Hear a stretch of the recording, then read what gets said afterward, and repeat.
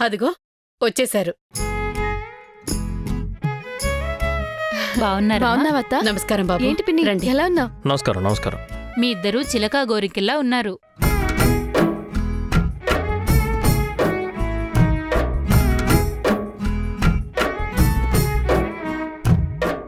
ఏంటి అలా వెళ్ళిపోతున్నారు?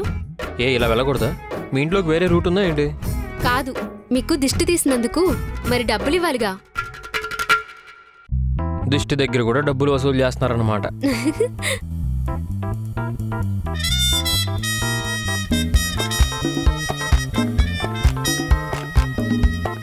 ఎంట్రీతోనే వంద అవుట్. రే ఈరోజు కాలేజ్ కూడా లేదు కదరా? మరి బ్యాగ్ తీసుకుని ఎక్కడికి వెళ్తున్నావు?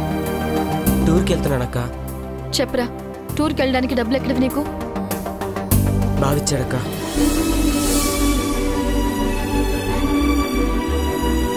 బావ మాట తీరు కాస్త రఫ్గా ఉంటుంది కానీ మనిషి మాత్రం చాలా మంచోడక్కా.